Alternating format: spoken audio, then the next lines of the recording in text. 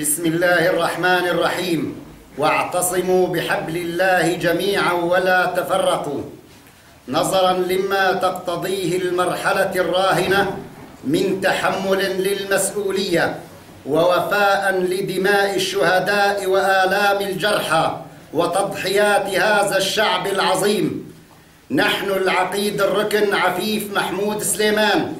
نعلن تشكيل المجلس الثوري العسكري في محافظة إدلب والذي يضم كافة الوحدات والتشكيلات الثورية العسكرية في المحافظة. وندعو كافة العسكريين للانشقاق عن العصابات الأسدية والانضمام لثورة هذا الشعب العظيم. والله ولي التوفيق عاشت سوريا حرة أبية.